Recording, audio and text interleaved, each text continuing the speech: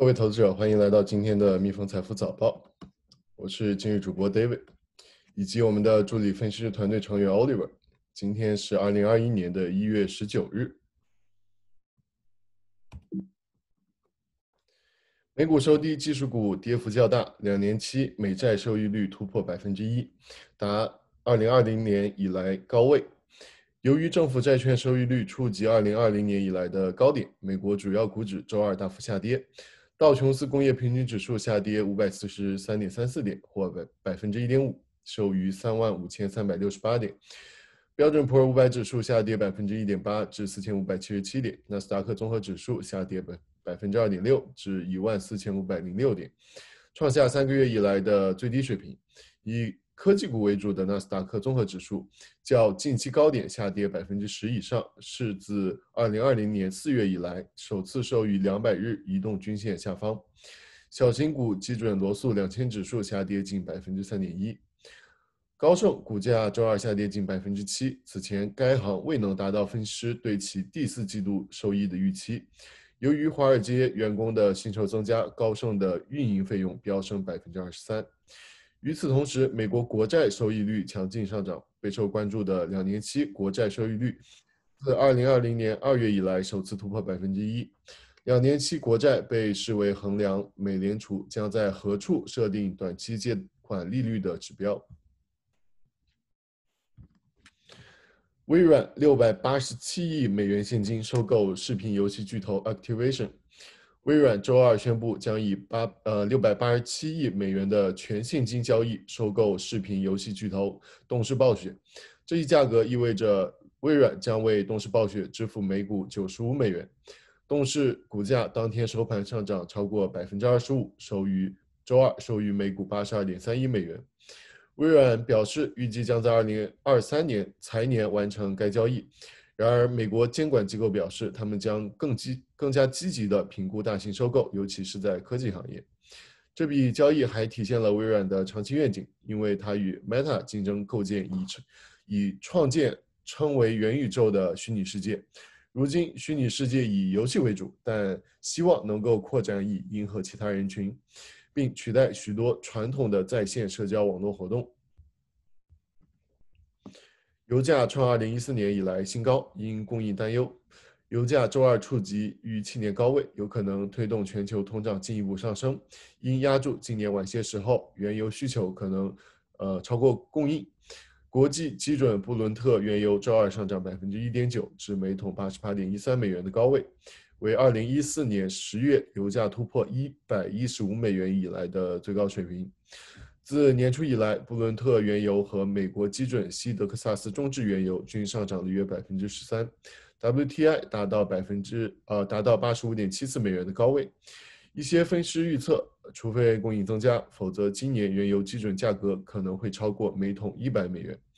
渣打银行策略师表示，随着全球经济继续从二零二零年开始的冠状病毒引发的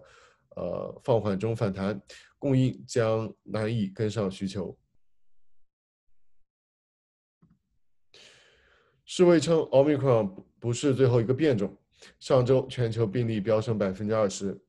世界卫生组织周二表示，尽管 Omicron 在一些国家的消退，大流行并不会结束，并警告称，随着病毒变异，世世界各地的高水平感染可能会导致新的变种。据世界卫生组织称，过去一周全球新感染病例增加了百分之二十，报告病例总数接近一千九百万例。但未报告的新感染病例会使实际数字高得多。高水平的传播给病毒更多的呃复制和变异的机会，增加了新变种出现的风险。世卫称，现在不是放松公共卫生措施的时候，比如减少呃戴口罩和保持身体距离，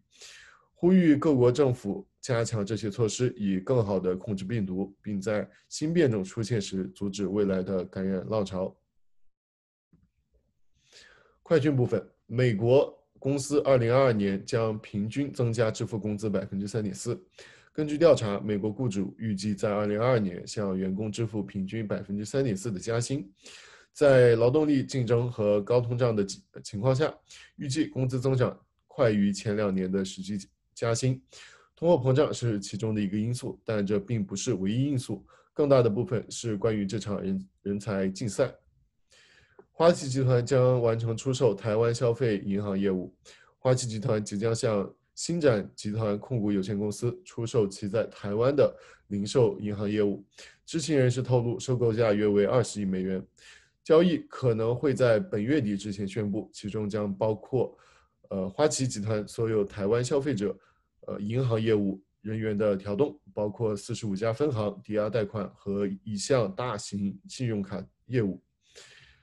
高盛增加人才支付，利润下降。高盛集团公司表示，周呃周二表示，他在二零二一年额外支付了四十四亿美元的薪酬，使该银行出现了今年唯一的季度利润下降。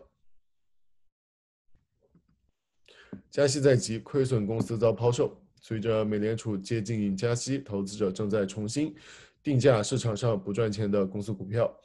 包括呃开支较大的科技公司、没有任何药批准药物的生物技术公司，以及通过与空白支票公司合并而迅速上市的初创公司。